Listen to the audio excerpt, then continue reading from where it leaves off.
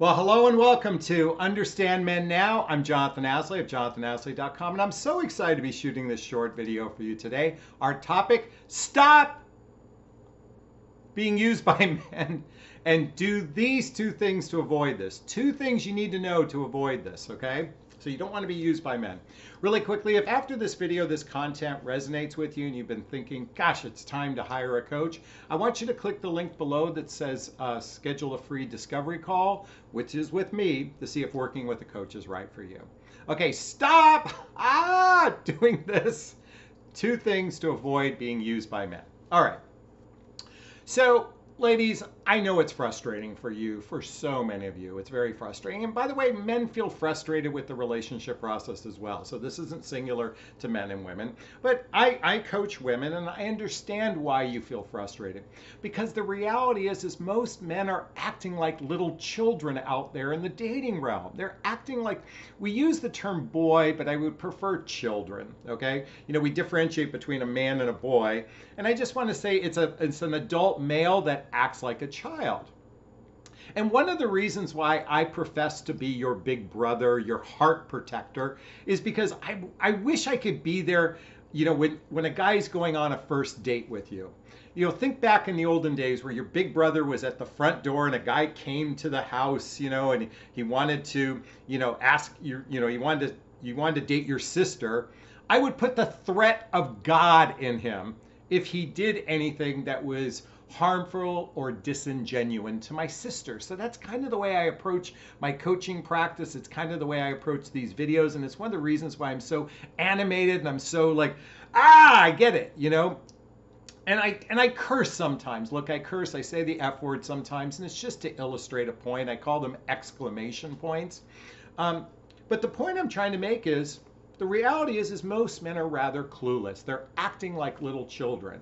And it's for these two primary reasons that this is happening. And that's what I want to draw attention to you.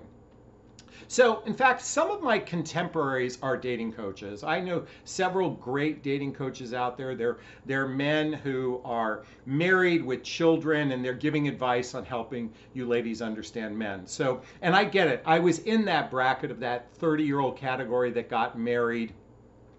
And the only difference between me and some of my contemporaries is I'm the one who got divorced. And not only did I go through a divorce, I even had a significant relationship that didn't work out. So I'm in the trenches with you in a different capacity, but I've been married before, I've been there. And why I'm bringing this up is that one of the components to avoid being used by a man in relationship, to avoid being used by a man in relationship, is to choose men who are intentional. Intentional. They're intentional about what they're seeking. And what I mean to say is those contemporaries I just mentioned, they're all married because they had an intention of getting married. Okay? Now, not all of you in midlife want to get remarried, but there's an intentionality about seeking a mate. There's an intentionality about seeking a partner. So let me illustrate an example. I'm going to put my glasses on. This is this is a um, this is from my dating site on Match.com. Here's a picture of my dating site. And I don't think you can read in my own words. Well, I guess you can't. But it starts, my first sentence starts off by saying, let me start by saying, I want to get remarried. And I'm seeking a woman who feels the same.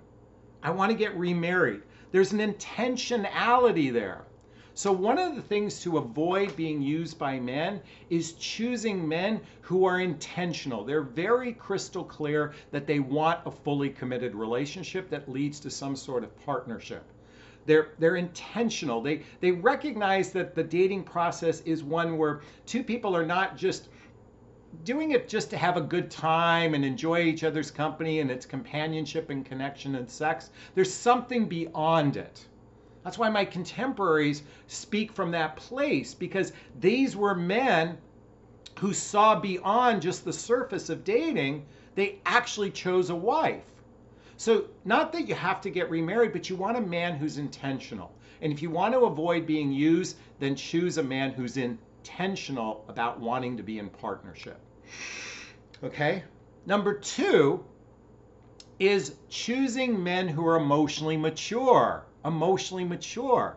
And this is the tricky part because emotional maturity is really hard to spot. In fact, one of the things I do in my private coaching program is I help women learn how to vet for emotional maturity. Now, if you've watched some of my previous videos and even my podcast called The Five Signs of Emotional Maturity, I'm going to run by it really quickly here, but this is the critical important piece because if you don't want to be used by a man, then you have to choose a man who's an emotional grown up. He's not, he might be a physical adult, but he also acts like an emotional grown up. And the five key factors to remember are his actions consistently match his words. He takes personal responsibility for his choices. He acts like a victor and not a victim, because a lot of people are acting from victim conscious, uh, consciousness. He knows how to fight fair. In other words, he knows how to resolve conflicts without getting defensive, without stonewalling, without getting into contempt or criticism. He knows how to fight fair because every relationship is going to have friction. Number four, he has a level of empathy. And I don't mean empathy meaning he can feel your feelings, but he actually genuinely cares about your feelings. He cares about how you feel. And lastly, he's transparent. In other words, he's consistently transparent. He's not hiding or stuffing his feelings like so many men do. And so the reality is, is you're not really being used by men most of the time. You're most of the time choosing men who aren't intentional in relationship or they lack emotional maturity. Because these are children running around getting their basic needs met of companionship, connection, and sex. And so if you want to avoid this, I always talk about, well, first off, you have to love yourself to help you avoid this. You have to love yourself. And all of you know I've been I talk about my book, What the Heck is Self Love Anyway? What the heck is self love anyway? Check out the link below to, um, to order a copy of my book. But when you love yourself, you're not going to be in the habit of choosing these kind of men because you're going to be intentional and you're going to be emotionally mature. And when you're intentional and emotionally mature, you become a magnetic attractor for those of the same. And oftentimes, one of the reasons why we, we get used is because we're not intentional and we're, not, we're still resolving our own wounds to emotional maturity. And that's my invitation for you to make that shift today, to make those changes right now. If you want to avoid being used, choose men who are intentional and emotionally mature. And if you need assistance on that, check out the link below to schedule a free discovery call with me to see if working with a coach is right for you. All right, I'm sure you have some questions. If you have some questions, please post a comment below. Please post a question. I do my best to respond to all of them. And what else can I say? Well, I think you get the gist of it. Have you felt used before and you want to avoid it? Then do these things. Be intentional and choose emotionally mature men. Okay, I'm going to wrap up this video as I always do. First off, giving myself a big, gigantic Jonathon Bear hug of self-love. I'm going to reach into the camera and give you a hug of love if that's okay.